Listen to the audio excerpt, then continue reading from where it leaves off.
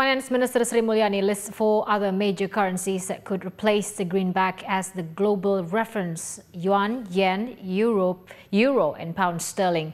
The fluctuation of a currency cannot be solely measured against the dollar.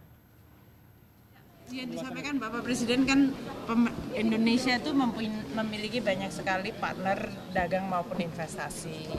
Jadi kalau dilihat dari sisi uh, kebutuhan uh, mengenai apa yang disebut competitiveness, nilai tukar yang dianggap selama ini sebagai indikator itu tidak hanya dilihat dari satu mata uang dan satu destinasi seperti Amerika, tapi yang disampaikan Bapak Presiden adalah Indonesia juga memiliki banyak sekali partner dagang yang lain di mana penggunaan denominasi mata uang apalagi seperti eh, RRT, renminbinya itu kan sudah masuk kepada basket currency internasional di IMF.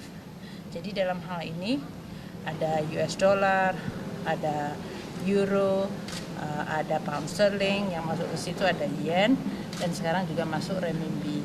Ini adalah menggambarkan berbagai macam perbedaan mata uang yang tentunya harus dilihat terhadap uh, mata uang kita. Sehingga kalau kita lihat apakah apresiasi atau depresiasi dilihatnya adalah kepada keseluruhan yang disebut basket of currency itu. Tidak hanya fokus kepada depresiasi terhadap